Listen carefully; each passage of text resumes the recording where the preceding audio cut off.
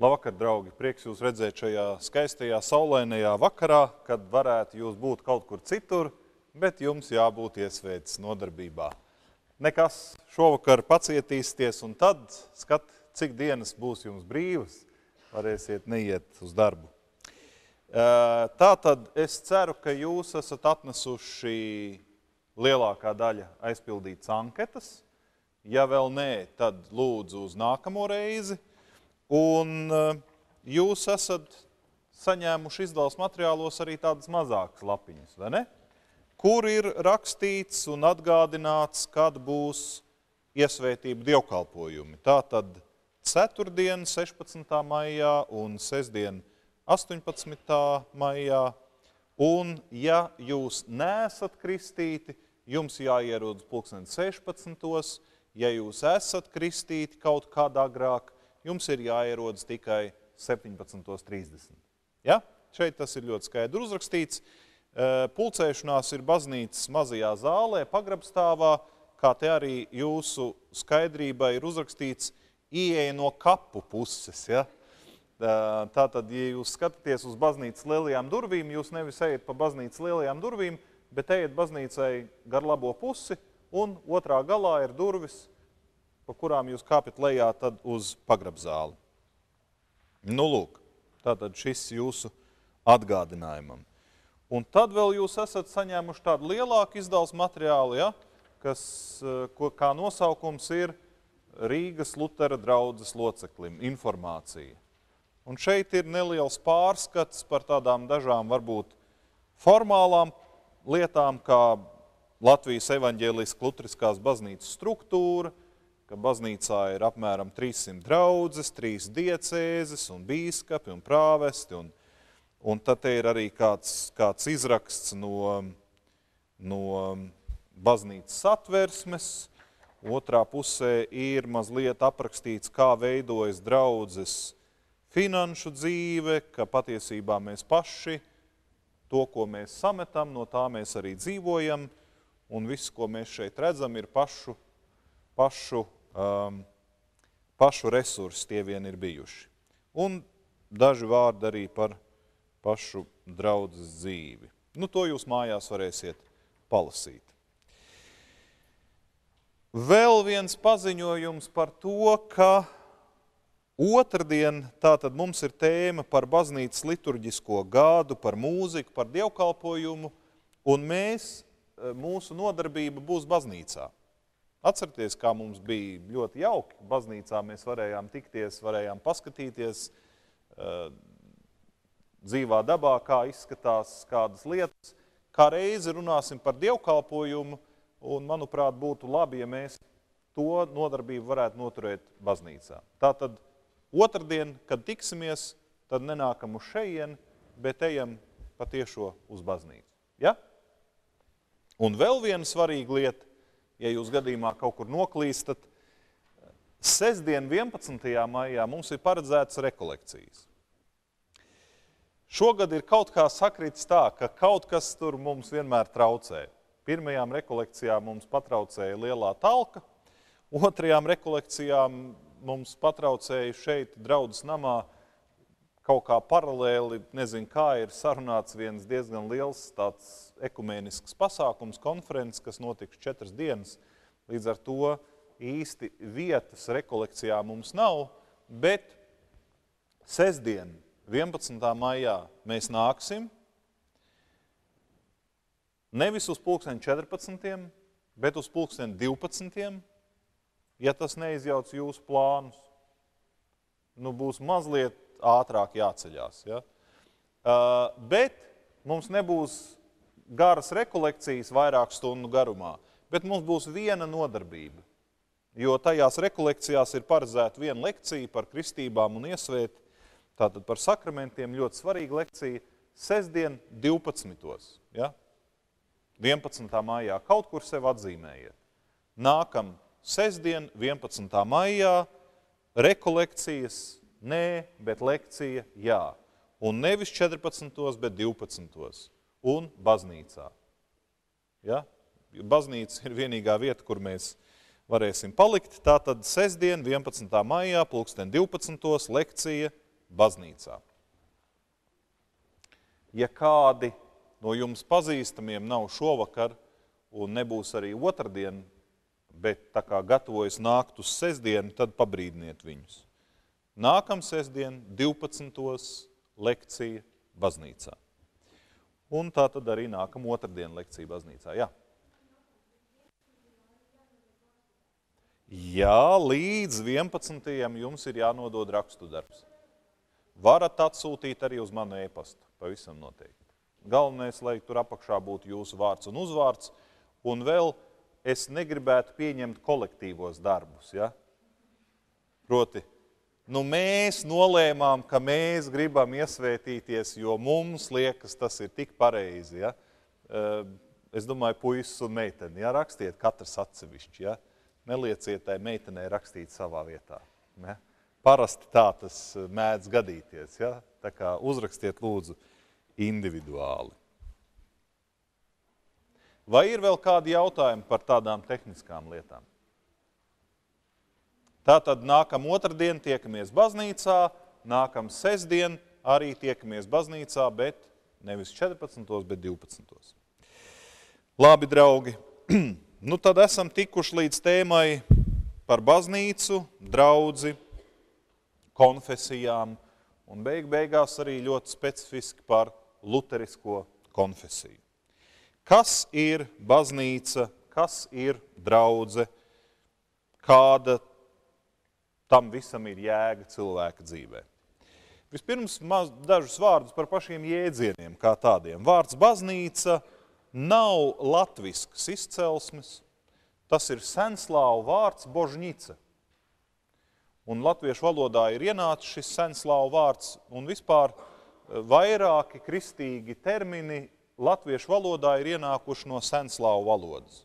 Jo pirmā saskarsme senajām baltu ciltīm – ar kristietību bija ne tikai, kā jūs zinat, 12. un 13. gadsimtā caur Livonijas ordeni un, un, un, un vācu šiem misionāriem, bet um, ir bijusi saskarsme pirms tam arī caur Kievas kņazisti, tātad caur Krievu pareisticīgo baznīcu, um, arī caur Skandināviju, bet vairāki vārdi, kas ir latviešu valodā iegājušies, patiesībā nāk no senslāvu valodas, kā lūk, božņica, krusts, sveces un vēl varbūt zvans, un vēl viens otrs kristīgs vārds patiesībā nāk no senslāvu valodas.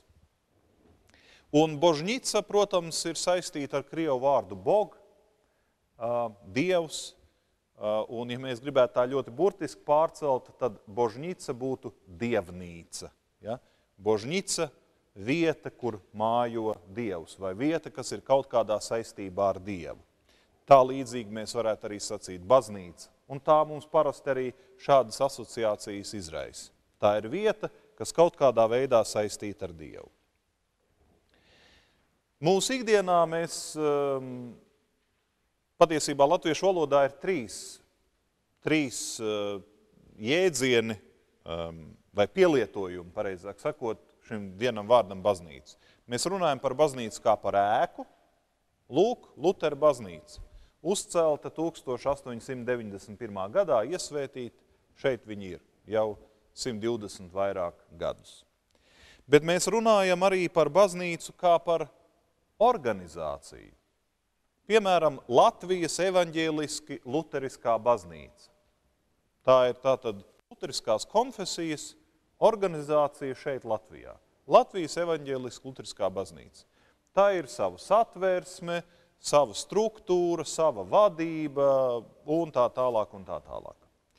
Bet uh, mēs runājam arī, un varbūt vairāk kristīgā vidē, mēs runājam un lietojam vārdu baznīca arī tādā universālā nozīmē, tādā garīgā nozīmē, filozofiskā nozīmē, ja gribat. Mēs runājam par baznīcu ar lielo burtu, par baznīcu kā, kā parādību visā pasaulē. Ja? Mēs runājam par kristīgo baznīcu kā tādu, kas aptver visu pasauli, visdažādākās konfesijas, visdažādākos cilvēkus. Un mēs vairāk tad šovakar liksim akcentu tieši uz šo trešo baznīca kā universāla cilvēku kopība. Un uz to cilvēku kopību vairāk norāda cits vārds, kas jau ir latvisks izcelsmes, savukārt vārds draudze. Lutera draudze šajā gadījumā.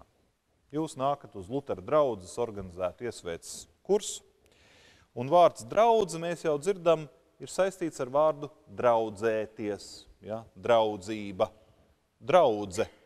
Tie ir cilvēki, kuri kaut kādā veidā draudzējas savā starpā. Ja? Protams, mums atkal ir vesela virkni dažādu priekšstatu, kas ir draudzēšanās, ko tas nozīmē. Bet um, jā, šis sadraudzības akcents, sadraudzības moments ir ļoti svarīgs vienā normāli funkcionējošā draudzē. Nu, lūk, tā tad um, vārdu draudze mēs lietojam apzīmējot lokālo mazo organizāciju. Lutera draudze ir daļa no evaņģēliska luteriskās baznīcas. Un kā jau tā izdevās materiālā sacīts, evaņģēliska luteriskajā baznīcā Latvijā ir apmēram 300 draudzes. Mēs esam lielākā. Apmēram 4000 draudzes locekļu, plus mīnus, tas skaitlis nemitīgi mainās. Kādi cilvēki kaut kur dodas prom, kādi cilvēki kādu laiku par sevi nav devuši ziņu, viņi tiek ielikt arhīvā, pēc kāda laika viņi atkal parādās, saka, mums ir piedzimis mazulis, mēs gribam viņu nokristīt, tad mēs viņu atkal atjaunojas aktīvajā sarakstā, plus mīnus 4000 ar nelielām izmaiņām šurp vai turp. Jāsaka, ka eh, lielais vairums draudžu Latvijas evaņģēliskā lutriskajā baznīcā svārstās no 50 līdz 100 cilvēkiem. Tad vidēji statistiski, statistiski ir 50 līdz 100 cilvēku tāda draudze. Mēs esam 4000, ja, tāds milzīgs zilonis. Uh, nu lūk, atcerieties, kādu laiku atpakaļ runājām par ticības apliecībām. Tas mums palīdzēs mazliet, lai mēs saprastu, kas ir baznīca tādā dziļākā nozīmē. Ne tikai jēka, ne tikai juridiska organizācija, bet kas ir baznīca dziļākā nozīmē. Un tur ticības apliecībā trešajā daļā mēs sakām, es ticu uz svēto garu, vienu svētu, kristīgu baznīcu, svēto sadraudzi, grēku piedošanu, un tur tiek lietots vārds baznīca. Latviski viņš ir iztulkots kā baznīca, bet tur apakšā ir viens grieķu vārds eklēsija, kas nāk no darbības vārda ekkaleo, aicināt ārā. Tātad es ticu uz aicinātu cilvēku kopību. Baznīca tā tad ir aicinātu cilvēku kopība. Tie ir cilvēki, kuri kaut kādā brīdī ir sadzirdējuši kaut kādu aicinājumu.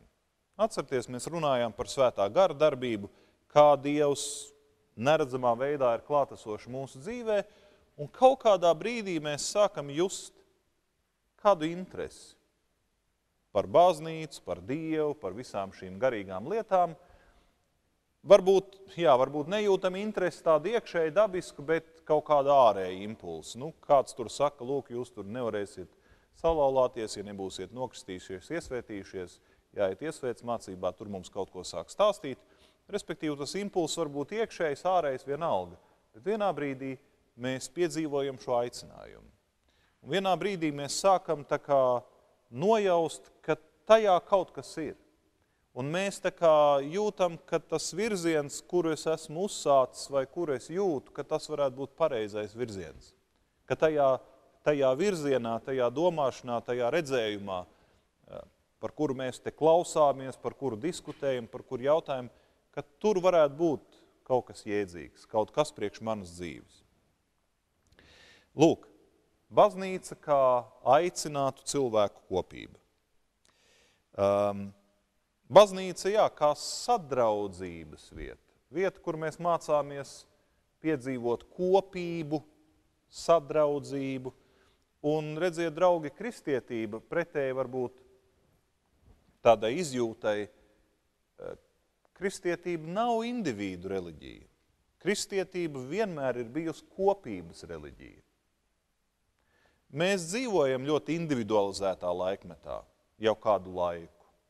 Mēs dzīvojam laikmetā, kurā mums ir tendence gribēt būt pašpietiekamiem. Atcerieties, pašā sākumā kaut kad citēju tādu Alberta Nolena grāmatu Jēzus vērtības mūsdienās, kur viņš runā par šo pašpietiekamo cilvēku. Mums ir šī tendence um, justies kā atsevišķam individam un arī savu dzīvi tā nodzīvot. Bet kristietība nekad nav tāda bijusi, nav paredzēta tā ir vienmēr bijusi kopības reliģija, kopības pieredze. Un tas ir, ko mēs mācāmies. Mēs mācāmies, kā tas ir būt kopā vienam ar otru, kā tas ir redzēt kādus cilvēkus, kas kaut ko dzīvē ir vairāk piedzīvojuši, kā tas ir kaut ko no viņiem saklausīt, sadzirdēt, kā tas ir jā, mācīties būt tādam vienam veselam, organismam, bet vienlaikus dzīvam organismam. Apostols Pāvils, viņam ir tāds salīdzinājums, viņš saka, baznīca ir tā kā Kristus miesa, tā kā ķermenis, kur ķermenī ir daudz un dažādi, daudz un dažādi locekļi, viņš saka, katram tur ir savu vietu. Baznīca nav tāda izplūdus amēba, kur viss ir tād, tād, tād, kaut kas viens tāds izplūdus. Nē, baznīca, viņš saka, sastāv no ļoti daža, daudziem un dažādiem atsevišķiem locekļiem. Bet tas, ka viņi ir dažādi, tas, ka viņi ir atsevišķi locekļi, tas padara to baznīcu tādu dzīvu, daudzveidīgu, raibu dzīvu, funkcionēt, dzīvot spējīgu. Un um, mēs esam, jā, Lutera, Lutera baznīca, šai gadījumā Lutera draudze, ir viens ļoti liels organisms. Bet brīžiem tāds nu, tāds, nu, tāds nedzīvs, varētu sacīt. Nu, tāds, nu, tā kā tāda liela izplūdus masa. Ja, tā kā tāda, tu ienāc baznīcā, tur daudz cilvēku, bet patiesībā tu viņus nepazīsti, tev nav nekādas saites savā starpā ar šiem cilvēkiem. Mēs ienākam tā kā tādā anonīmā lielā pelēkā masā atkal ar savu individualitāti pasēžam tur dievkalpojumā, beidzās dievkalpojums aiziem projām. Tas nav īsti labi. No tāda viedokļa, no tās sadraudzības, no kopības viedokļa, tas nav labi. Jo, jā, tam ir zināms priekšrocības. Tas kaut kādu laiku ļauj mums justies komfortabli, netraucēti, lieciet man mierā, es nāku baudīt pats savu garīgumu, savas attiecības personīgās ar Dievu, kā nu es tās saprotu un kā nu es tās gribu. Un tas ir tas, ko daudz cilvēku šeit novērtē. Bet tas nav līdz galam tas, kādai vajadzētu būt kristietībai. Kristietībai būtu jābūt tādai, kur cilvēki starpā veidojas attiecības, kur cilvēki pazīst viens otru, kur cilvēki ir kopā viens ar otru. Vismaz, jā, noteikti daudz dziļākā līmenī nekā tas varbūt ir šobrīd. Un tieši tāpēc mēs mēģinam radīt dažādus apstākļus, lai cilvēki var nākt kopā. Nu, kā piemēram, nebija agrāk tādas lietas, kā pēc dievkalpojuma iespējas pasēdēt, vienkārši padzert tēju, kafiju, papļāpāt vienam ar otru. Varbūt apsēsties pie kāda galdiņa, kur sēž kāds nepazīstams, iepazīties, aprunāties. Tādas iespējas nebija. Mūsu vecais draudzes nams tur knapi sagāja kopā lielākajā telpā vieni 40 cilvēku, un tad pēc brīža vairs nebija ko elpot. Uzcēlām draudzes namu, kur var vieni 150, 200 cilvēki droši būt kopā, un svētdienā pēc abiem dievkalpojumiem kopā iziet apmēram 150 cilvēku cauri šim tējas un kafijas sadraudzības tādam mirklim. Mēs dodam iespēju. Mēs nevaram piespiest mīlēt vienam otru, bet mēs dodam iespēju. Vai, piemēram, vasaras nometne. Jūs kļūsiet tagad par draudzes locekļiem, un jūs zinat, 28. līdz 30. jūnijas ir gadskārtējā vasaras nometne. Ķečos, pie Ungura ezera, cēs pusē, brīnišķīgā, skaistā vietā, kādi varbūt jau ir bijuši, kādi nav bijuši. Fantastiski iespēja piekdienas vakars, visa sestdiena, svētdiena līdz pēcpusdienai atpūsties, papeldēt, brīvā dabā, paklausīties kādas labas lekcijas, kādas pārdomas, padiskutēt, kaut ko foršu, smieklīgu padarīt kopā. nu, tādas vienkārši trīs dienas.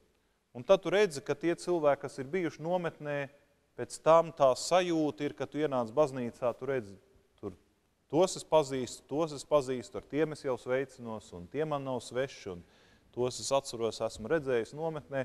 Atkal viens labs veids, kā mēs varam um, viens ar otru iepazīties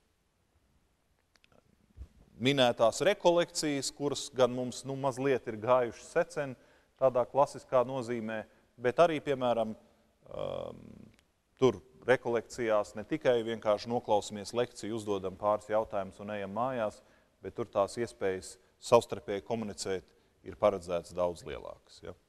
Tā kā daudzos un dažādos veidos mēs mēģinam to kopības elementu um, iedot cilvēkiem.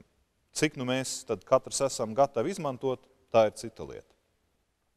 Bet tas ir tas būtiskākais. Baznīca kā cilvēku kopība.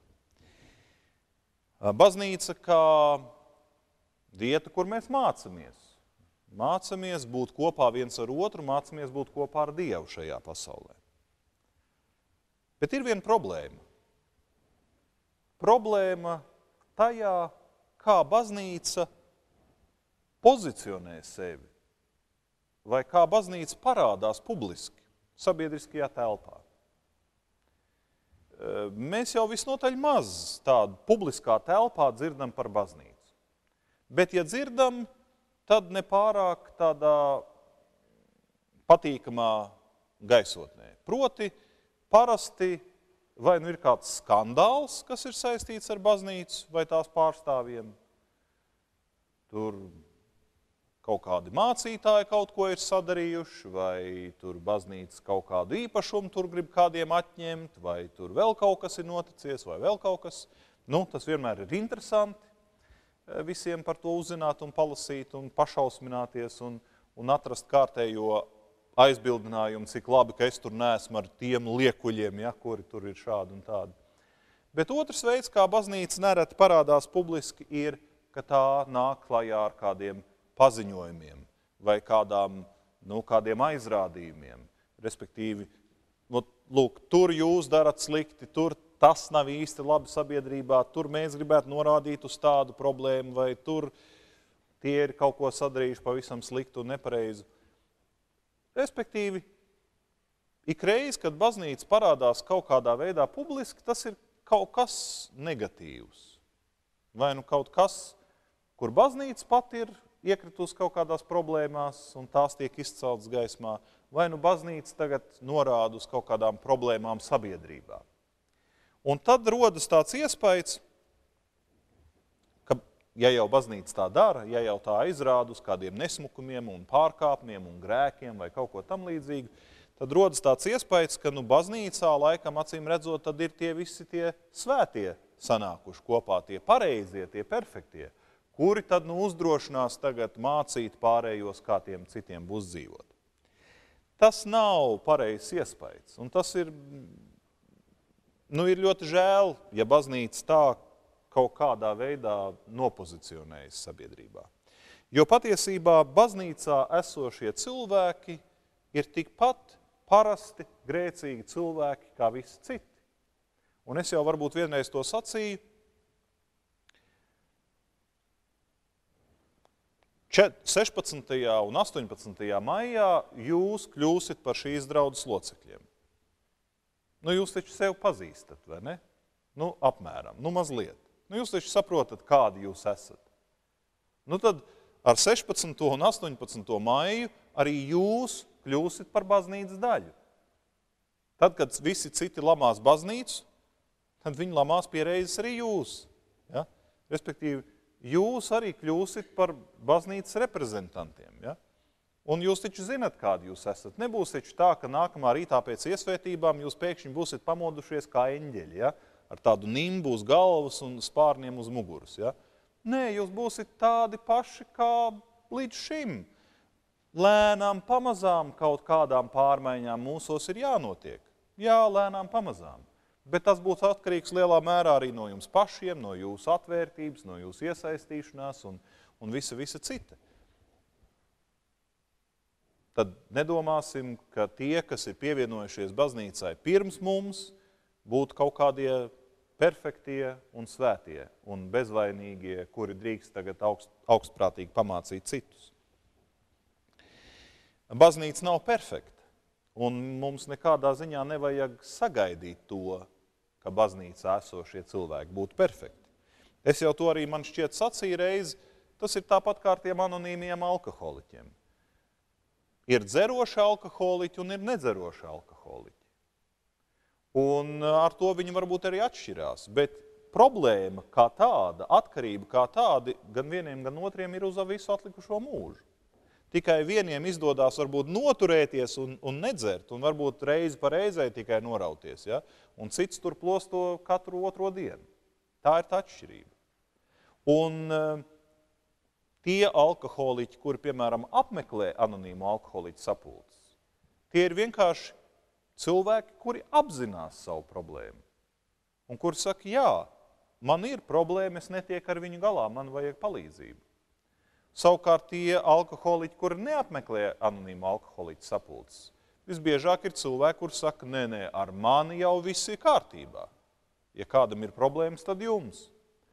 Tā ir tā atšķirība, tā apziņas pakāpe. Un tāpēc normālos apstākļos kristīgi cilvēki vai baznīcas cilvēki ir tādi paši cilvēki kā visi citi, tikai vajadzētu no viņiem sagaidīt, un tas būtu normāli, mazliet augstāku pašrefleksijas līmeni.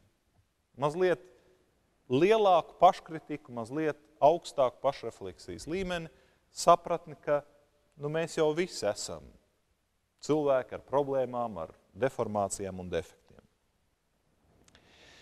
Um, tātad baznīca ir tādu cilvēku sadraudzība, kuri apzinās, ka nereti vienīgais risinājums, kas ir atlicis, vienīgais veids, kā mazināt to ļaunumu ietekmi pašam sevī, vienīgā atbild uz dzīves jautājumiem ir Dieva tuvums, kas ir atklāts Kristū. Un baznīca nozīmē, ka tie ir cilvēki, kur ir nolēmuši šo ceļu iet. Viņi saprot, cita ceļa nav. Šis ir vienīgais. Es redzu, ka ir, šis ir vienīgais mans ceļš, kā es varu savu dzīvi kaut kā jēdzīgi nodzīvot. Tie ir cilvēki, kas vēl ir tālu no pilnības, tālu no problēmu atrisinājumiem, taču viņiem ir, viņi apzinās savā dzīvē šo Dieva klātbūtni, svētību, apsolījumus, Un caur kristībām, lūk, caur iesvētībām, caur svētā vakarēdienas saņemšanu, caur savu ticību un paļāvību uz Dievu, šie cilvēki aizvien apzinās sevi esam Dievu tūmā. Un, kā jau sacīju, tad um, salīdzinājums ar, ar cilvēka ķermeni ir ļoti vietā. Ķermenī katrai lietai katram orgānam, katram loceklim ir sava funkcija. Un tāpat arī draudzē. Cilvēki mēs esam ar ļoti dažādām dāvanām, ar ļoti dažādām spējām un prasmēm. Un ir fantastiski, ja kaut kādā brīdī mēs varam palīdzēt viens otram, būt nodrīgi viens otram caur to, ko mēs zinām, protam, mākam. Tas ir milzīgs resurss.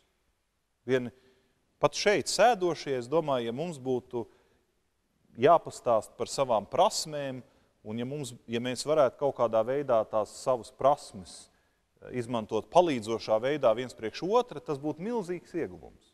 Tas būtu milzīgs ieguvums vienā, vienā kopienā, vienā sabiedrībā, kur cilvēki var līdzdalīt savas prasmes. Un tas ir tas, kam normāli būtu jābūt vienā kristīgā draudzē. Bet, kā jau teicu, tā lielākā problēma ir tā, ka mēs esam ļoti daudz.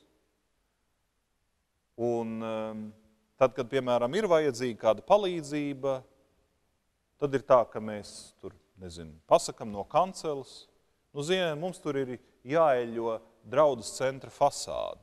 Mums vajadzīgi ir seši cilvēki, kuri prot noturēt otru rokā. Ja? Iemērkt viņu spainītī ar, ar, ar eļu un nokrāsot. Sešus cilvēkus vajag. Baznīcā sēž abos dievkalpojumos svētdienā, teiksim, vien 600 cilvēki. Mēs izsludinām vienu svētdienu, otru svētdienu, trešo svētdienu. Es šeit runāju par konkrētu notikumu. Piesakās, pieteicās, man liekas, divi cilvēki. Nu, no vieniem 600 cilvēkiem vienā svētdienā, pēc tam vēl otrā svētdienā, trešā svētdienā pieteicās divi cilvēki. Kāpēc? Pārējie neprotu otru noturēt rokā. Pārējie domā, ē, man ir pilnīgi vienalga, kas tur notiek ar to viņu draudzes centru un fasādu. Nu, gan jau, ka nav tik ļauni. Bet, ziniet, viss Vislielākā iespējamība ir droši vien tā, ka cilvēks sēž un domā, nu bāc, nu te ir 600 cilvēku, nu taču kāds jau pieteiksies. Nu es jau nu nevaru, nu man jau baigi saspringtais darbs, tur grafiks, tur šis, bet nu kāds taču pieteiksies. Nu galu galā 4000 draudzes locekļi te mēs esam. Vai tad bez manis neiztiks? Piesakās divi cilvēki.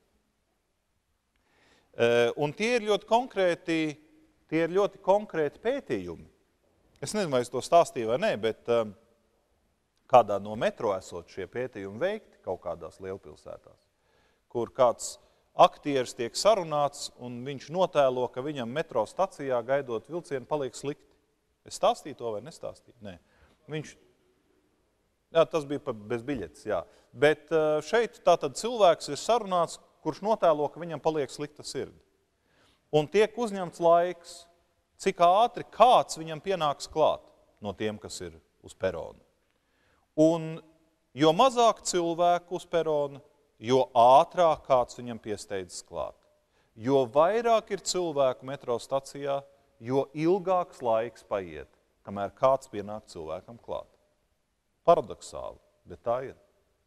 Jo tajā brīdī, kad ir daudz cilvēku, Visi sāk domāt viens uz otru. Es jau, man ir jāsteidzās baigi, es jau tāpat neko nesaprotu, tur jau noteikti kāds ārsts ir starp viņiem, gan jau kāds pieies. Vienkārši cilvēks pa to laiku mirst, jo visi domā viens uz otru. Jo mazāk cilvēku, jo skaidrs, nav neviena cita, kādam ir jāiet. Un rezultātā dīvainā kārtā tāda milzīga draudze kā Lutera draudze nevar atrast sešus cilvēkus kas noeļot fasādu. Absurdi, bet tā tas ir. Un par to ir vērts aizdomāties. Tā kā nākamreiz, kad jūs dzirdēsiet, ka tiek aicināti kādi cilvēki, tad atcerieties to, ko es jums stāstu. Un nebrīnieties, ka kaut kādas lietas nenotiek. Ja? Bāc, jūs ejat garām un skatāties, nu nav noeļojuši to fasādu aizvien. Ja? Nu nav, tāpēc, ka nevar cilvēkus dabūt. Ja? Vai arī beigās, draugi, vai arī beigās tad ir jāpērk ārpakalpojums. Ja? Jāatsauc profesionālu eļļotāju brigādi, ja? jāsamaksā, izdarīs. Ko mūsdienās pa naudu nevar izdarīt? Ja? Visu. Bet, eh, un tas ir tas, tā ir tā mūsu iesaistīšanās pakāpe. Kādā veidā mēs gribam savā draudzē būs, būt iesaistīti? Vai es atnāku uz dievkalpojumu, baudu puslīdz labu saturu un par visu pārējo lieciet man mierā. Es esmu gatavs jums noziedot, samaksāt, tikai lieciet man mierā. Labi, tas ir viens veids, kā mēs varam būt līdzdalīgi draudz dzīvē. Um, un jā, jo steidzamākā laikmetā dzīvojam, jo vairāk mums ir jāstrādā, jo šis kļūst par to modeli. Ja? Kad cilvēki Viņiem nav laika, viņ, viņiem ir sajūta, man nav laika iesaistīties, es labāk noziedoju un nopērciet to pakalpojumu, atsauciet eļļotājus, samaksājiet viņiem un, un viss. Vai arī otra iespēja ir, ka daudzas lietas mēs darām kopā, vienkārši kopā. Talku uztaisam kopā un nevis saucam tur kaut kādu apkopšanas firmu, kas tur atbrauc un, un un paprasa viens tūkstots, divi tūkstoši latus vai ne par baznīcas teritorijas sakopšanu, bet sanāk viens simts cilvēku kopā pāris stundas pastrādā forša sajūta. Kopības sajūta un arī labs darbs ir izdarīts. Un tā daudzas lietas draudzē var notikties tikai tāpēc, ka cilvēki saprot, kā tā draudzes dzīve veidojas. Tā veidojas no mums pašiem. No tā, cik mēs paši esam gatavi ko izdarīt, um, vai ieguldīt, vai noziedot, un tam līdzīgi. Neviens no malas, tā sakot, te neko nedara. Nu, lūk, um, tas ir par, um, par baznīcu, kā ēku, par draugu, kā, kā organizāciju, par cilvēku sadraudzību, kā lietas veidojas. Un, jā, diemžēl tas tā ir pēdējā laikā vai pēdējos gados. Tā ir tendence, ka aizvien vairāk ir pakalpojumi jāpērk. Cilvēki aizvien mazāk paši fiziski iesaistās kaut kādās aktivitātēs. Un to es atceros, tolaik man tas kaut kā vēl nebija līdz galam skaidrs, bet es atceros daudzus gadus atpakaļ, kad es sāku kalpot vienā nelielā kurzemes pilsētiņā, tajā pašā, kur ar tiem citplanētiešiem satikos. Atceros pirmos gadus, tur bija malkas apkur baznīcā. Pirmos gadus draudze izziņoja talku, tur gāja mežā, draudzēja piedrošā mežā, zāģēja kokus, veda uz baznīcu, tur talka, tur baļķus zāģēja, malku skaldīja, sagatavoja ziemai malku. Nu, tad pielika pilnu šķūni un tad kurināja ziemā un visiem bija labi.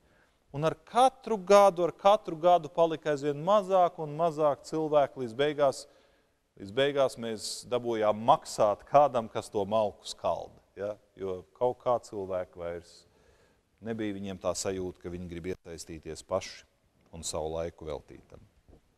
Un es domāju, nu tā ir tāda vispārēja tendence, ka tas laiks paliek aizvien mazāk, un mēs ļoti, ļoti vērtējam, izvērtējam, kur es šo to mazo laiciņu, kas man ir atlicies, kur es viņu gribu ieguldīt. Um, bet, kā jau es teicu, pavadīt kaut kādu savas dzīves daļu, kaut kādu nedēļas daļu vai dienas daļu vai kaut kādu mēnešu daļu kopā, draudzē, nometnē, talkā, kaut kādās aktivitātēs, tas var izrādīties nevis man atņem spēkus, nevis man oh, tur kaut kā liek justies slikti un iztukšotam, bet tieši otrādi. Tas piepilda mani, tas dod man atkal jaunu enerģiju un tas dod to foršo sajūtu, ka es esmu kaut ko labu padarījis un izdarījis. Bet um, Lutera draudze un Latvijas evaņģēliska lutriskā baznīca ir daļa no vienas vēl plašākas kopienas, kas saucās luterisms, luteriskā konfesija. Un mēs zinām, ka kristietība sadalās vairākos virzienos, vairākos novirzienos, vairākās konfesijās, tā sakot. Un latīņu vārds confesio nozīmē es atzīstos. Es atzīstos, es apliecinu. Es atzīstos, kam tad es ticu. Confesio, es atzīstos, es apliecinu. Un eh, tā tad Konfesija tā ir atzīšanās noteiktos uzskatos. Piedarība pie noteiktas grupas vai strāvojumu kādas reliģijas ietvaros. Un jau no pašiem pirmsākumiem kristietībā šie strāvojumi lēnām iezīmējas. Kristietība, jūs zinat, ka tā izplešās pa visu Romas impēriju. Romas impērija ir tik liela, sākot ar rietumiem, kur dominē teiksim, romiešu juridiskā domāšana, romiešu termini, rietumu domāšana, filozofija, un beidzot ar austrumiem, kur, ir, kur vairāk ir jūtama teiksim, grieķu, grieķu kultūra, grieķu filozofijas termini un tā tālāk. Un kristietība lēnām, kad tās mācība formulējas, noformulējas, tiek ietērpta konkrētos jēdzienos un vārdos, tur jau parādās pirmās nianses.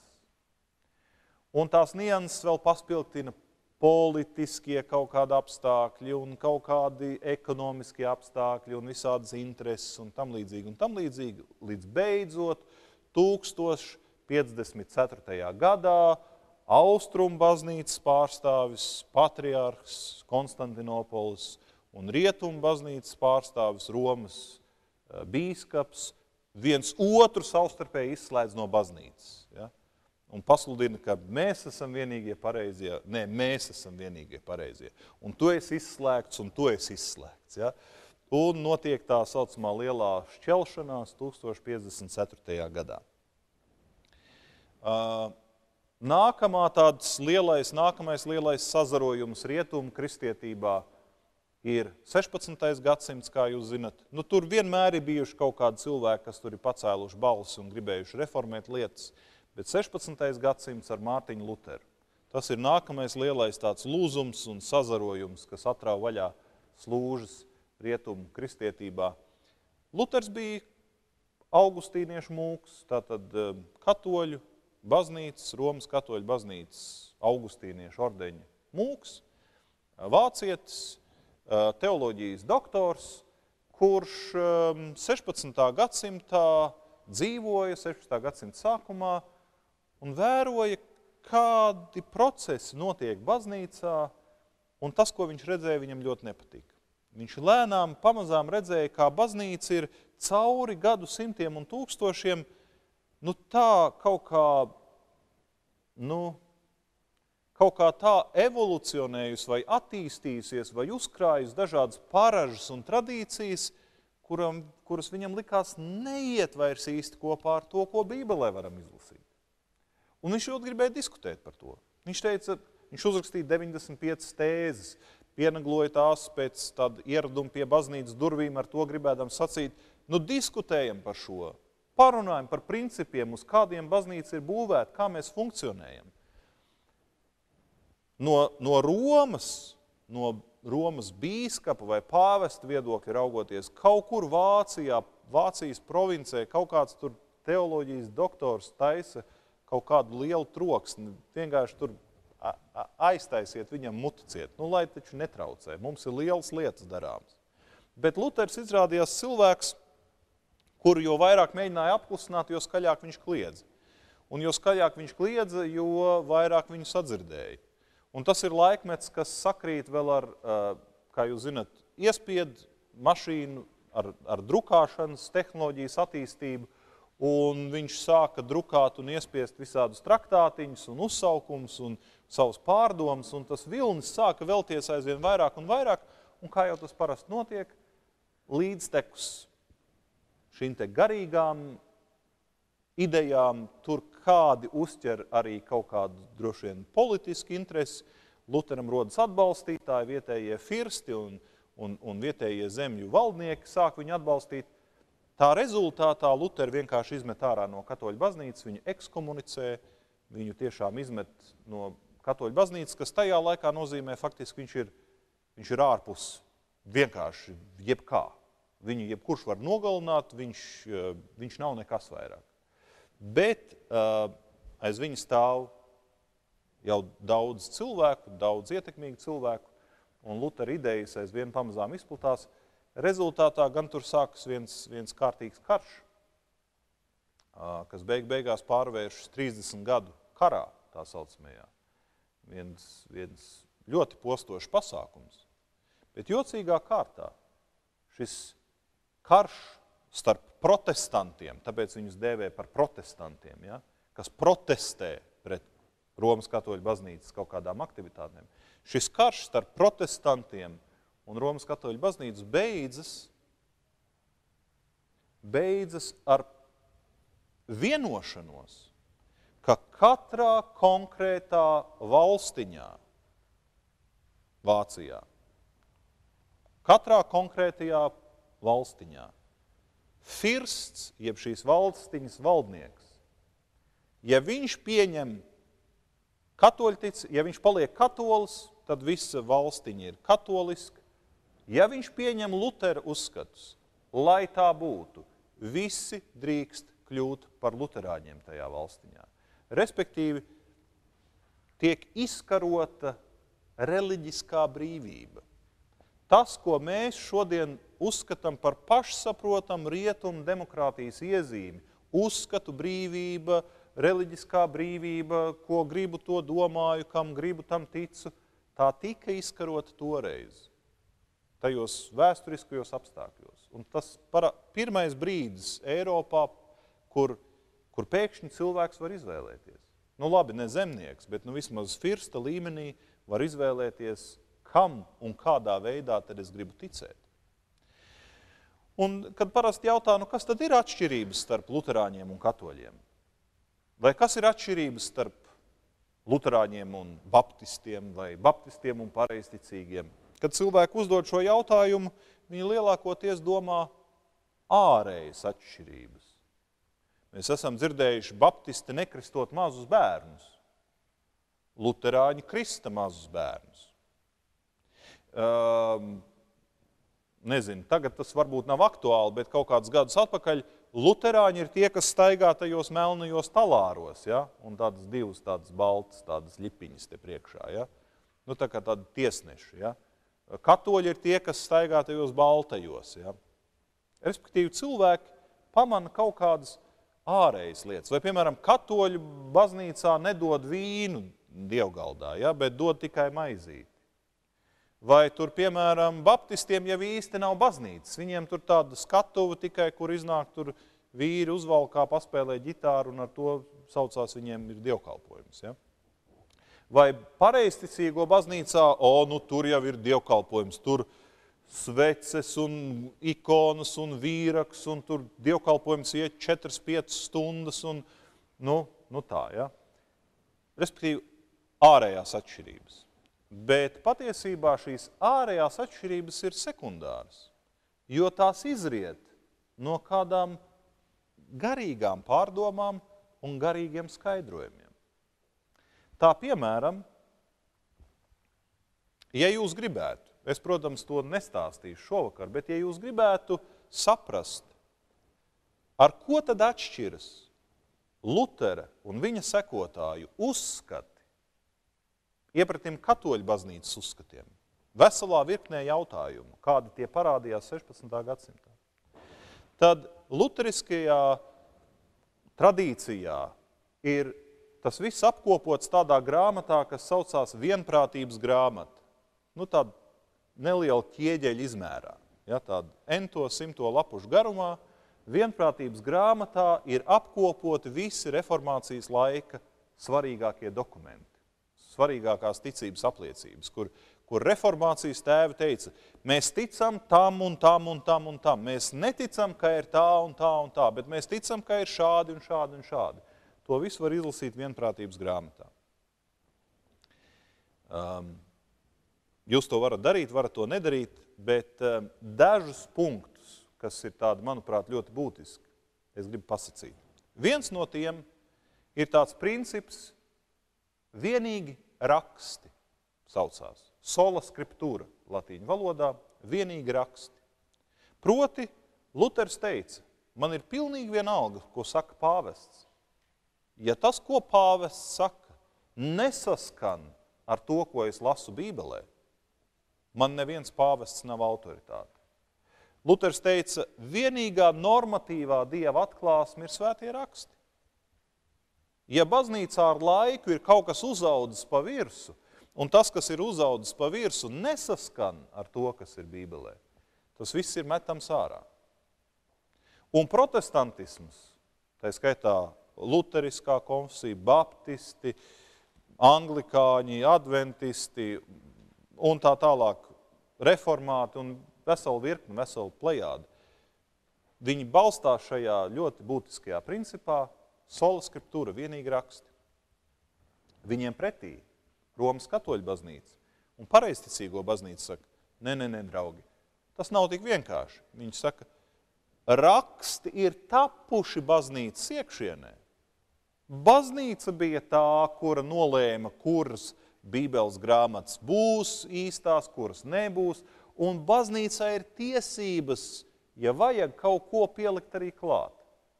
Un tāpēc eh, Romas katoļu baznīcā un pareizticīgo baznīcā līdztekus Bībelei ir arī tradīcija. Tradīcija pat varbūt ir nozīmīgāka kā Bībele. Un tāpēc, piemēram, Romas katoļu baznīcā un arī pareizticīgo baznīcā ir ļoti ar laiku, cauri gadu simtiem attīstījies jaunavs Marijas kults. Ja? Jūs nevarat iedomāties nevienu katoļu draudzi, kuras centrā vizuāli un visādi citādi nebūtu jaunā Marija ar mazo Jēzus bērniņu. Ja? Ļoti izteikts jaunās Marijas kults. Lai gan pašā Bībelē, pašā jaunajā derībā par jauno Mariju, tur varbūt ir kaut kādi pārdesmit teikumi dažās vietās. Bet tradīcija ar gadsimtiem ilgi ir uzaugusi par ļoti nopietnu. Un tagad jau patiesībā katoļu baznīcā, nu tā, no malas skatoties, ir sajūta, ka jaunavai Marijai ir lielāka loma nekā Jēzum. Ja, jo, jo, ja teiksim, jūs redzat sievieti ar, ar mazu bērnu uz rokām, tad pie kā jūs vēršaties? Pie tā mazā zīdaiņa vai pie viņa mammas? Ja? Skaidrs, kurš ir boss, tā sakot, skaidrs, kurš nosaka lietas. Ja? Un, lai gan atkal, protams, korekti, teoloģiski jau viss ir korekti.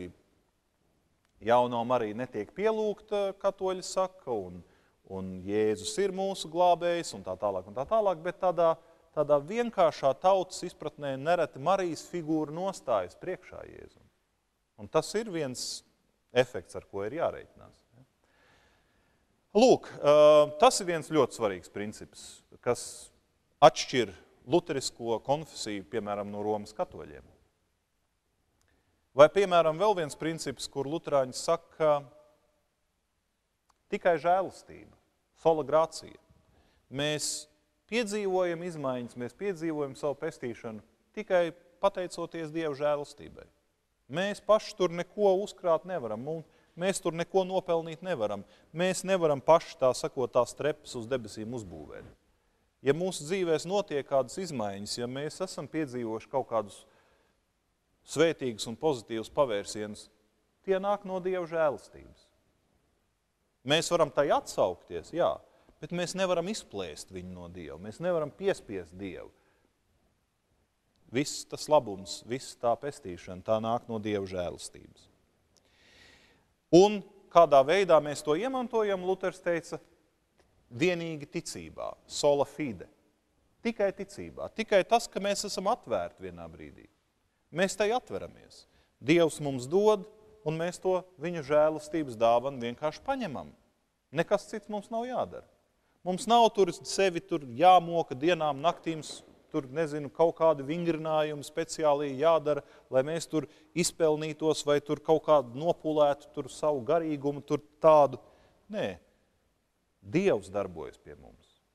Viņš ienes mūsu dzīvē pārmaiņas. Jautājums, vai mēs uzticamies, vai mēs paļaujamies, vai mēs esam tam atvērti.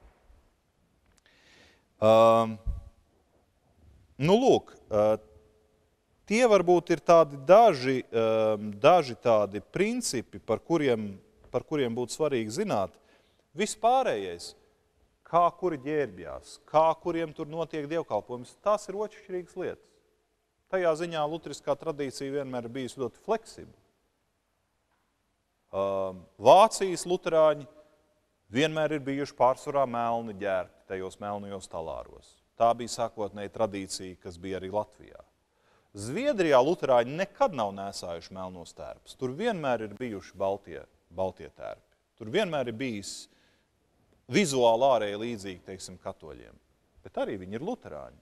Jo ne jau tas ārējais izskats nosaka, bet tās, tās izpratnes, tās garīgās izpratnes.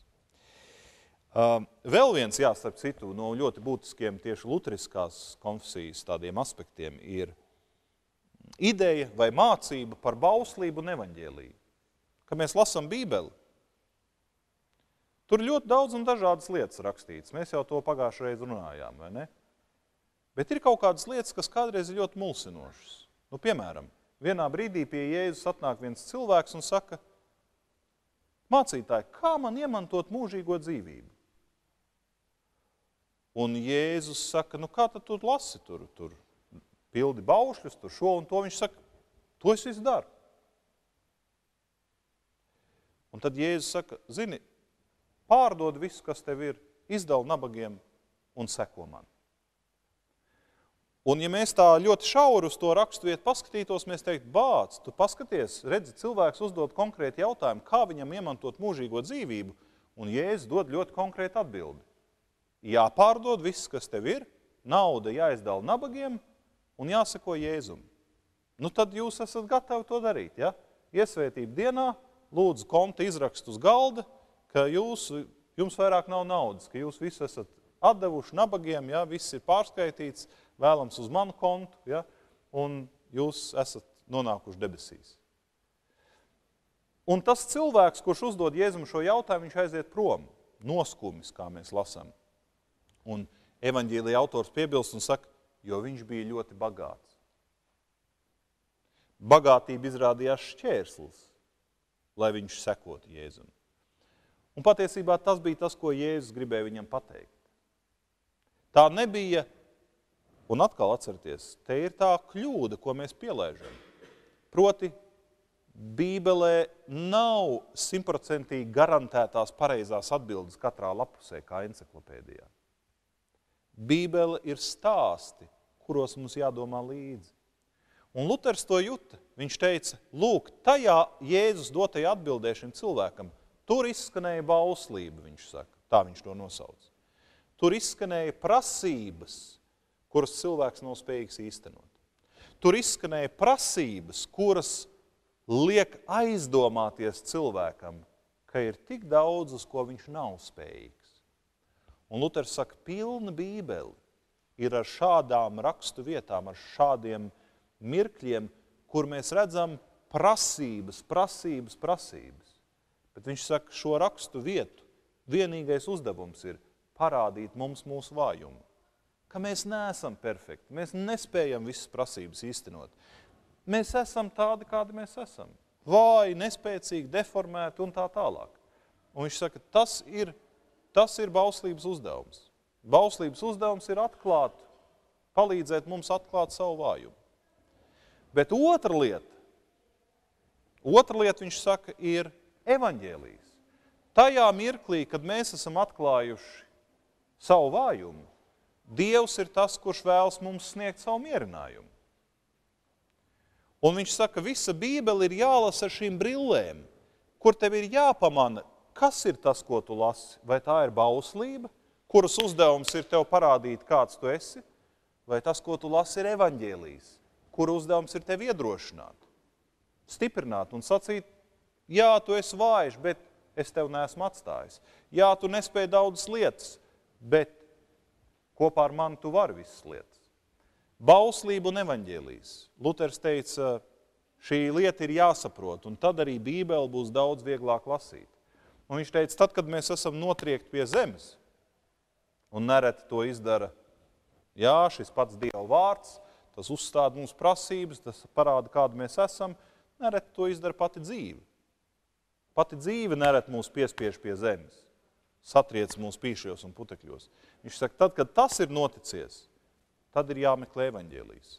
Tad ir jāmeklē visas tās raksturvietas, kurās Dievs apliecina savu žēlastību un mīlestību. Un tās ir tās, kas atkal mūs pieceļ un ļauj mums iet uz priekšu. Tātad sadzirdēt bauslību, izlasīt bauslību Bībelē nozīmē saprast eh, to, ka mums ir jādzīvo bez ilūzijām, bez kaut kāda iedomātā perfektuma, visvarenības. Savukārt evaņģēlijas nozīmē labo vēsti un iedrošinājumu un apsolījumu, ka Dievs ir kopā aizvien ar mums. Un uh, varētu domāt, priekš kam visa šī tik lielā daudzveidība vajadzīga uh, kristietībā? Kāpēc nevarētu būt viena unificēta kristīga baznīca, kur ir skaidrs, tā ir kristietība, punkts. Tur visi domā absolūti vienādi. Mums būtu mazāk ko izvēlēties. Mums nevajadzētu domāt luterāņi, katoļi, pareizticīgie, menonīti, baptisti, vasarsvētku, presbiteriāņi, anglikāņi, entie, entie, entie. Bet redziet, šīs atšķirības, šie novirzieni patiesībā netik daudz kaut ko pasaka par kristietību, cik daudz vairāk pasaka par mums cilvēkiem. Jo redziet, Kāda no jums aizies uz Baptistu baznīcu? Paskatīsies, tur zāle, skatuve, kaut kāda stringšķina ģitāras un dzied kaut kādas dziesmas un plaukšķina. nu, nav tā sajūta, ka te būtu dievkalpojums. Tā kā kultūras namā vairāk izskatās. Ja? Kāda no jums aizies uz pareizticīgo baznīcu? Tur sens lauds dziedājumi nesaprotamā valodā, tur bāķuška savā basā kaut ko dudina, tur koris kaut kāds dzied, tur nemitīgi staigā, notiek kaut kādas lietas, nemitīgi jāmet krusti, jālokās. Tur notiek dievkalpojums 4-5 stundas, tur staigā šurpu turpu ikonas, sveces, vīraks. Nu, ir sajūta, te ir dievkalpojums, te Dievs ir klātesošs. Ja? Varbūt arī pilnīgi otrādi. Jūs ieiet pareizticīgo baznīcā, pēc piecām minūtēm jums paliek nelabi vienkārši no visas tām svecēm, no tā vīreka, no tām smaržām, no visas tās nesaprotamības. Ja? Jums paliek nelabi, jūs gribat ātrāk prom no šejienes. Oh, jūs atnākat uz Baptistu baznīcu tik jauki, tik sirsnīgi, tur viss tik vienkārši, tik mīļi, tik saprotami. Ja? Vai arī, piemēram, jūs atnākat uz pie luterāņiem. Kaut kas tur ir no tādas smalkām lietām, tur no kaut kādām tādām liturģiskām, rituālu lietām. Ja, tur ir tērpi, tur ir, tur ir kaut kādas lietas, tādas nesaprotamas, mazliet mistiskas un tā, tas tur ir. Un tajā pašā laikā tur ir arī kaut kāda drusciņa tā kā brīvība, tur tā kā, tur tā kā saprotami kaut kādas lietas ir. Ja? Man, man, manā gadījumā, piemēram, man tieši tāpēc Lutheriskā konfesija personīgi šķiet vissimpātiskākā, jo mēs esam kaut kur pa vidu. Starp, starp teiksim, pareizticību un, un katoļu baznīcu, kas ir ļoti ritualizētas un ļoti teiksim, pārsātinātas, piesātinātas ar dažādiem simboliem un rituāliem – un otrā pusē ir kaut kādas, teiksim, tā saucamās brīvbaznīcas vai kādas brīvkustības, kur, kur jā, dievkalpojums notiek vienkārši šādi. Cilvēks sēž uz krēsliem, iznāk priekšā cilvēks, kaut ko pastāst, kaut ko palūdzās, un, un, un tas ir dievkalpojums. Ja? Luterāņi ir kaut kur pa vidu. Tur ir pietiekami daudz no simboliem, no rituāliem, un pietiekami daudz arī kaut kas no brīvības un spējas būt pašam un domāt pašam ar savu galvu. Un līdz ar to ir šie daudzie dažādie ceļi, kā mēs, kur mēs visoptimālāk, vislabāk jūtamies. Un, nu, bez ilūzijām, arī luteriskā konfesija ir visnotaļ plašs spektrs. Arī luteriskajā konfesijā ir sākot ar diezgan brīvdomātājiem un beidzot ar ļoti konservatīviem cilvēkiem. Ja? Sākot ar ļoti uh, cilvēkiem, kuriem tie rituāli nebūtu nav svarīgi, un beidzot ar tādiem, kuri ļoti strikti ievēro vismazākos rituālus un simbolus. Ja? Arī luteriskā konfesija ir visnotaļ, visnotaļ plašu spektru, bet tā aizvien paliek tajās protestantisma vai luteriskās teoloģijas robežās, ja? kur savukārt pareizticība ir sava teoloģija ar savām robežām, katoļu baznīcai sava teoloģija ar savām robežām. Realitātē, draugi, nu neviens jau parasti nelasa biezo vienprātības grāmatu, lai saprastu, kam tad tic luterāņi. Neviens nelasa vēl biezāko Romas katoļu baznīcas katehismu, lai saprastu, ko tad māca katoļu baznīca. Neviens neiedziļinās tur šādās grāmatās vai tādās. Realitāte ir kā? Nu, mēs te tūmā dzīvojam. Ja? Nu, mēs atnācām ir ok. Ja? Kā mēs varētu iestāties jūsu draudzē? Mēs te vienkārši esam ne, nesen pārcēlušies. Ja? Vai arī es te biju pagājušajā gadā, man draugs precējās jūsu baznīcā, ja? man kaut kā iepatikās, es arī gribētu. Ja? Kas man jādara tālāk? Ja? Tas ir kā realitātē visbiežāk notiek. Ja? Um, tātad geogrāfiskais princips nostrādā visnotaļ bieži vai kaut kāds ieteikuma princips, vai varbūt kaut kāds vēsturiskais princips. Mūsu ģimene vienmēr ir bijuši luterāņi. Ja? Un tāpēc jūs zinat aptaujās, kad, kad uh, tiek publicētas kārtējās aptaujas par to, cik ir, cik ir luterāņu, cik ir katoļu, cik ir pareisticīgo Latvijā. Man vienmēr šie skaitļi fascinē, jo uh, aptaujās vieni, nu teiksim tā, nu vieni vien 500, 600 tūkstoši cilvēku saka, mēs esam luterāņi. Realitātē ja paskatās baznīcas statistiku, kuri cilvēki ir kristīti un iesvētīti un ir reģistrēti konkrētā draudzē, šādu cilvēku Latvijā ir apmēram 40 tūkstoši. Tie ir oficiāli, formāli kristīti, iesvētīti un reģistrēti draudzes locekļi. 40 tūkstoši. 40 tūkstoši.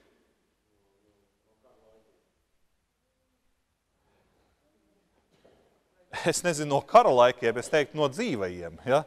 No šobrīd Latvijā dzīvojošiem Latvijas iedzīvotājiem 40 tūkstoši cilvēku ir kristīti, iesvētīti un šobrīd reģistrēti kādā no draudzēm. 40 tūkstoši.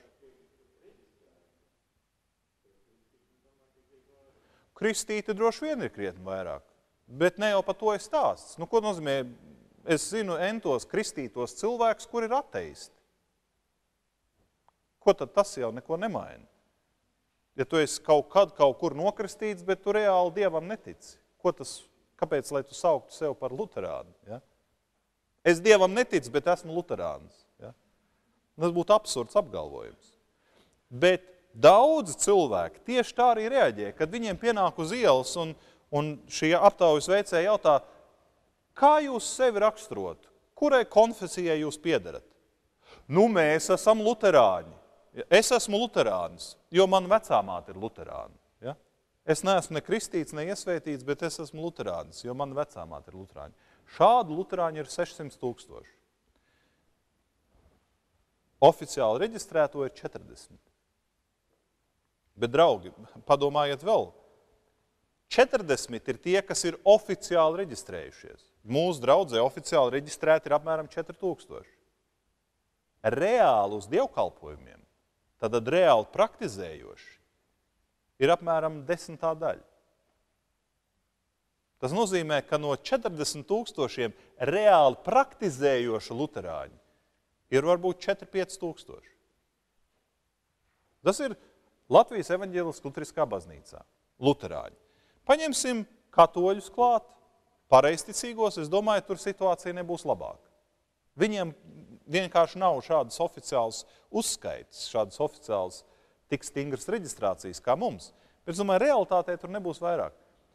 Rezultātā mēs dabūjam, ka praktizējošu kristiešu Latvijā ir labi, ja 5% iedzīvotāji. Kristietība, draugi, ir minoritāte Latvijā. Minoritāte. Mēs neesam majoritāte, mēs neesam tautas baznīca. Mēs esam minoritāte. Un es domāju, tas mums būtu jāapzinās pašiem, tas būtu jāapzinās arī baznīcas vadītājiem. Mēs esam minoritāte. Mēs nevaram uzvesties tā, it kā mēs pārstāvētu visu Latvijas tautu. Nu, nepārstāvam mēs visu Latvijas tautu. Nē, Un ar to ir jārēķinās, un tas ir jāsaprot. No tā ir atkarīga arī taktika, kā baznīca izdzīvo. Ja baznīca pārstāv visu tautu, tad baznīca var uzvesties vienā veidā. Ja baznīca pārstāv minoritāti, tad baznīca ir mazliet citādāka stratēģija un taktika jāizvēlās. Tāda ir tā realitāte. Tāda viņi ir. Bet nu, tas nav stāsts par to. Stāsts par to, ka Mums ir dažādas iespējas izvēlēties, mums ir dažādi ceļi, kā mēs varam savus attiecības ar Dievu veidot, vai mēs piedaram minoritātei vai majoritātei vai vienai vai otrai konfesijai. Šajā gadījumā tas nav tas būtiskākais. Būtiskākais ir, ka mēs saprotam, mums ir iespējas izvēlēties. Un šīs iespējas izvēlēties savulaik tika izcīnītas jā, burtiskā nozīmē ar asinīm. Caur to reformācijas laiku, kur bija tāds Luters, kurš teica nē, kā tradīcija vēstī, vienā um, tādā milzīgā sapulcē, kur viņš esot izsaukts uz tepiķa, un kur viņam sacīja, ka viņam esot jāatsakās no saviem uzskatiem, viņš esot teicis, te es stāvu un citādi es nevaru, lai Dievs man palīdz. Nu, īsti nezinu, vai to viņš bija teicis tā vai nē, bet tradīcija saka, ka viņš tā teica. Ja? Tātad viens cilvēks, kurš sacīja, nē, es tā domāju. Un es nevaru neko izdarīt. Es tā domāju, tā ir mana pārliecība. Un izrādās, bija vēl daudz, un daudz, un daudz, un daudz cilvēku, kuri sacīja, jā, arī mēs domājam tāpat kā viņš. Un rezultātā mēs esam nonākuši pie luteriskās konfesijas. Un tā tad spēja domāt ar savu galvu, spēja aizstāvēt savu ticību, spēja aizstāvēt savus uzskatus, apzināties, ka es esmu atbildīgs ne tikai pāvesta, bīskapa, mācītāja priekšā, bet es drīkstu arī stāvēt viens pret vienu ar Dievu un pie viņa meklēt aizstāvību. Tā ir ļoti būtiska luteriskās konfesijas identitāte.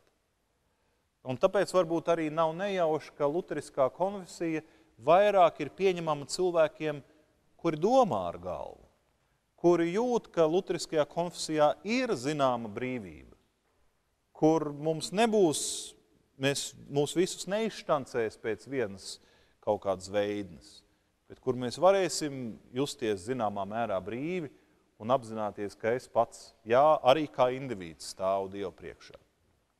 Tā kā tās ir tādas arī nozīmīgas lietas, par kurām ir vērts kaut kad atcerēties. Labi, draugi, vai jums ir jautājumi par baznīcu visās nozīmēs, par draudzi, par konfesijām, par luterismu un tā tālāk un tā tālāk? No tiem dažiem, dažiem vārdiem un dažiem teikumiem, dažām idejām, ko es jums izstāstīju. Ja.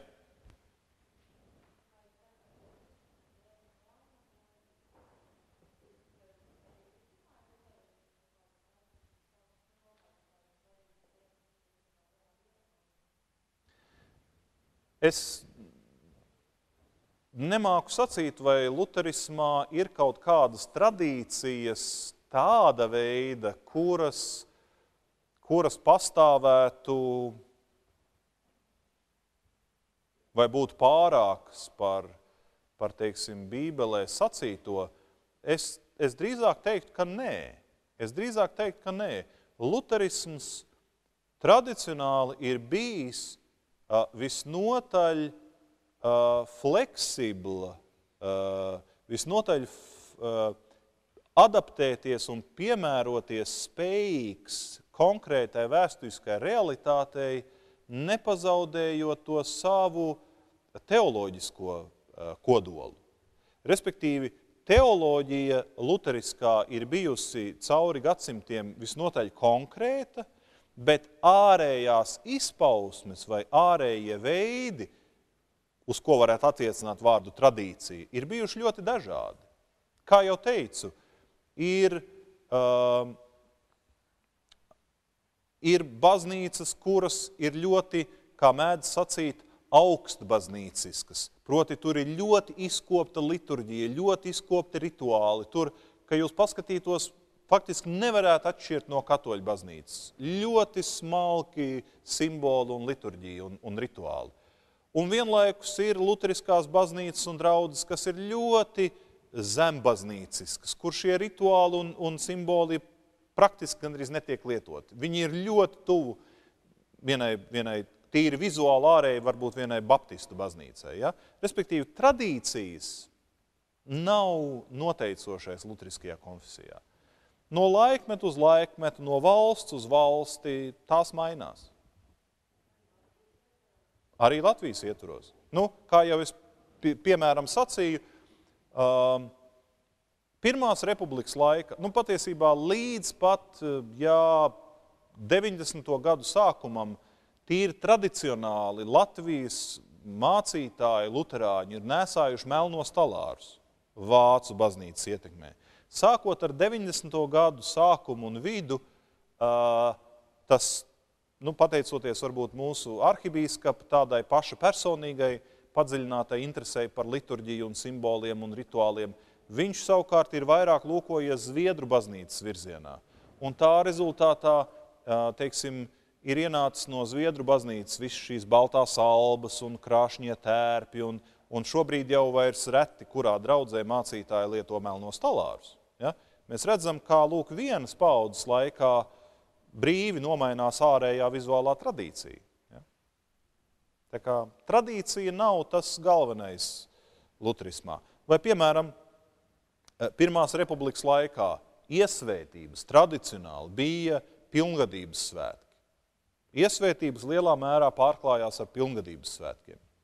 Šobrīd iesvētībām ir ļoti plašs spektrs. Ja? Teorētiski mācītāja konference ir lēmusi, ka var iesvētīt bērnus no septiņu gadu vecuma, par iesvēti mēs vēlāk parunāsim, līdz beidzot mums iesvētas mācībā nāk arī 70 gadīgi cilvēki. Ja? Respektīvi, nav vairs nekādas starpības, nav vairs nekādas nozīmes kurā vecumā cilvēki iesvētās. Ja? Jo vēsturiskā realitāte ir pilnīgi cita. Un tā tālāk, un tā tālāk. Ja? Tur varētu droši vien daudz un dažādus piemērus saukt, kur tradīcija nav būtiskākais. Būtiskākais ir tas teoloģiskais kodols, tā teoloģiskā interpretācija. Tradīcijas mainās.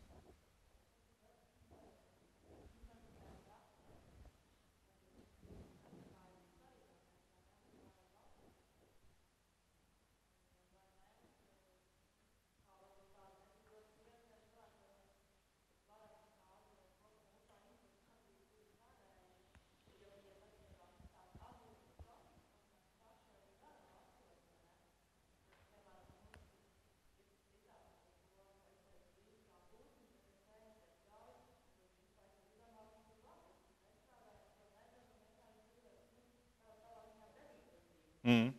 Mm.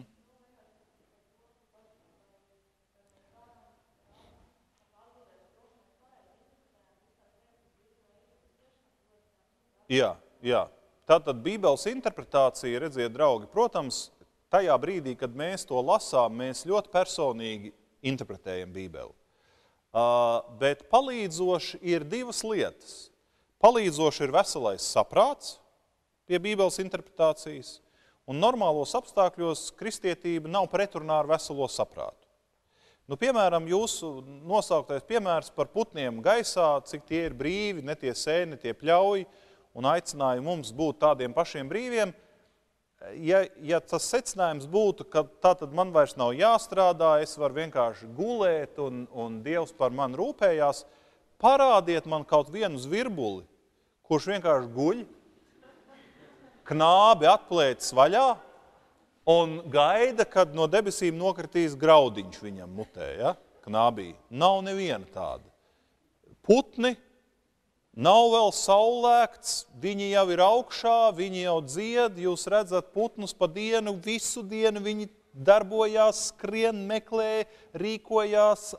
Es neesmu redzējis aktīvā. Es neesmu redzējis zvirbuli, kas, teiksim, slinki tā gulšņā kaut kur, ja tādā, nu tā, nu, kad vienkārši viss ir apnicies viņam, ja tā. Nav tādas parādības, ja? Nav. Līdz ar to uzmanīgi vērojumi, veselais saprāts saka, ka šajā rakstu vietā, un ja mēs viņu palasām mazliet vēl uz priekšu atpakaļ, Jēzus runā, viņš tur nosoda vai, teiksim, aizrāda, uh, to, ka cilvēki zūdās nemitīgi. Viņi nemitīgi kurn pa kaut ko, viņi nemitīgi zūdās, viņi no, nemitīgi ir nobežījušies. Viņš saka, esiet atvērti, paļaujieties vairāk. Tas nenozīmē nestrādājiet. Strādājiet, dariet savu darbu, esiet aktīvi, bet paļaujieties, ka Dievs gādās par iespējām. Un tas ir tas, kas ar putniem notiek. Viņi skraida no saulēkt līdz saulrietam. Dievs gādā par iespējām. Un tas ir, ko šī raksturvieta saka. Tad, es saku, veselais saprāts. Šis pat nav skaidrojums, šis ir veselais saprāts. Rūpīgi vērojumi plus veselais saprāts. Otra lieta, otra lieta, protams, tāpēc jau es teicu, kristietība ir kopības reliģija. Gribam mēs vai negribam. Ja jūs atverat pirmo reizi vaļā Bībeli un sākat lasīt, tas nav gluži tā, ka varbūt es lasu Bībeli, jo es to daru 20 gadus un daru to profesionāli. Un tajā brīdī jums ir visas tiesības pajautāt man, nu, mācītāji, nu, jūs to Bībeli lasāt 20 gadus jau. Nu, jūs viņu esat izlasījies krustu šķērsu, jūs zinat entās interpretācijas. Nu, kā jums liekas, Kad es izlasu par to, ka mums ir jābūt kā putniem gaisā, vai man ir jāiet uz darbu vai nav?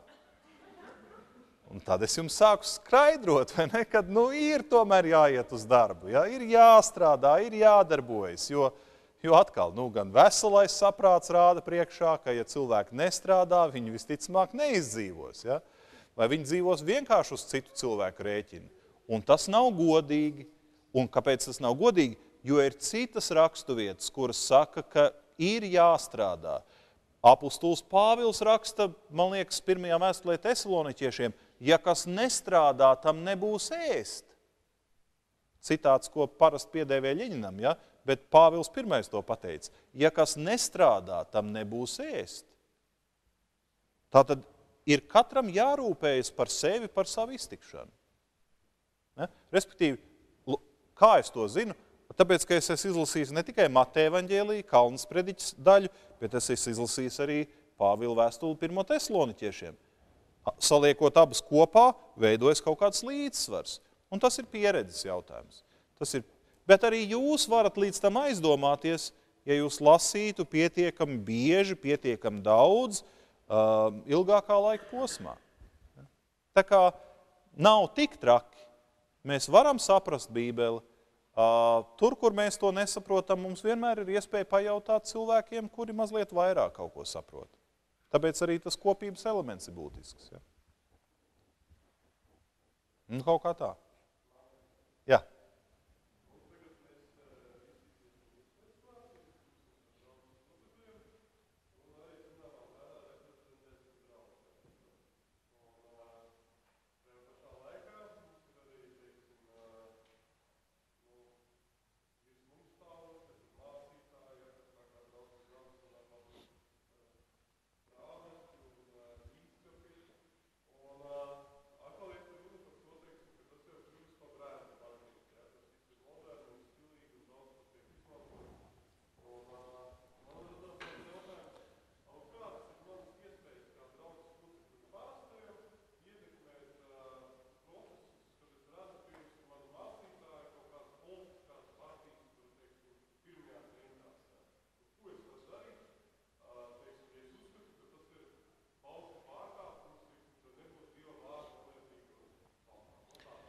Jā, tas, kā, kā draudzes locekļi var ietekmēt kaut kādus procesus, ir tādā veidā, ka normālos apstākļos draudzē, pirmkārt, jebkurā brīdī, jebkurš draudzes loceklis var vērsties un runāt ar mācītāju.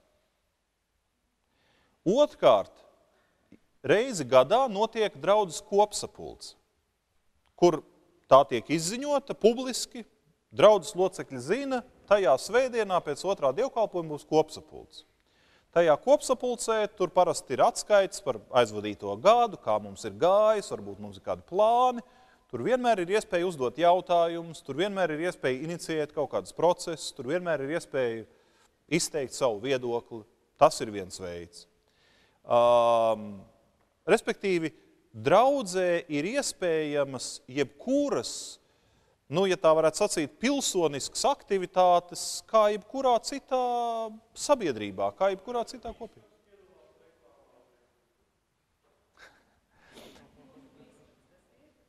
Nē, nu redzi, Nē, nu, nu redzi uh, tad ir tā, ja tev būtu sūdzības par mācītāju, tad tu varētu iet pie Rīgas, piemēram, iecirkņu prāvest un teikt, prāvest, nu, mans tas mācītājs nu, ir briesmīgi, nu, vajadzētu ar viņu runāt. Ja, uh, ja prāvests neklausās un saka, nē, nē, viss ir kārtībā, tad tu varētu iet pie bīskapa un teikt, bīskap, nu, tas mūsu mācītājs no ārprāts. Ja?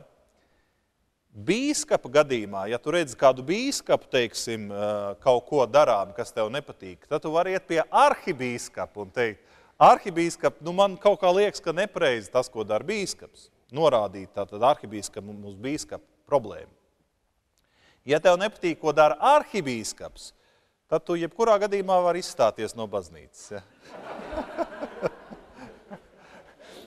jo, jo, jo arhibīskaps lokālajā baznīcā ir augstākā amatpersona. Bet, bet, protams, tas mazliet humoram, bet uh, savukārt baznīcas līmenī reizi četros gados notiek saucamā sinode, kur katra draudze deleģē savus pārstāvis, tur ir mācītāji, tur ir vēl kādi draugi delegāti, un savukārt sinodē tad tiek lemti lielie baznīcas jautājumi. Un arī tur ir iespēja, tā sakot, uzstāties un uzdot jautājumus un izteikt viedokļus un sacīt, baznīcas pārstāvi, draugu pārstāvi, man nepatīk, ko dara bīskaps N vai arhibīskaps. Tur vēl kaut kāds, kāds ir jūsu viedoklis. Ja? Nu, tur jūs dzirdēsiet visu, ko par jums domā, bet, bet viedokli izteikt eh, varbūt būs iespēja. Ja?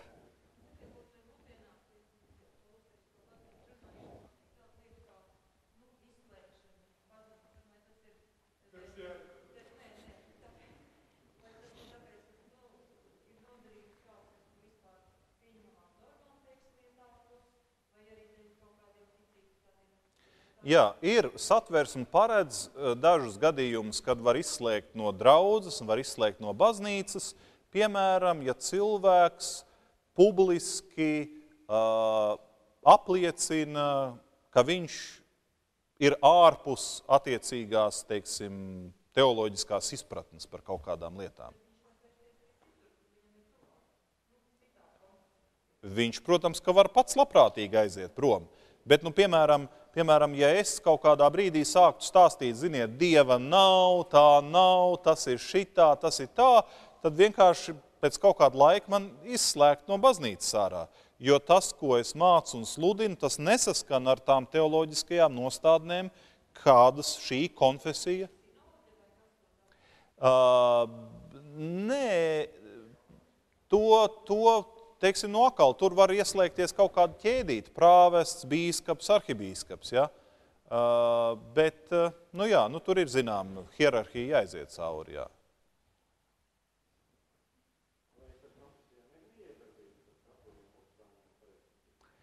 Jā, uh, par attiecībām starp konfesijām ir tā. Uh, plašajā pasaulē nu jau vairākus gadu desmitus notiek dažāda veida teoloģiskas diskusijas par dažādiem garīgiem jautājumiem starp dažādām konfesijām.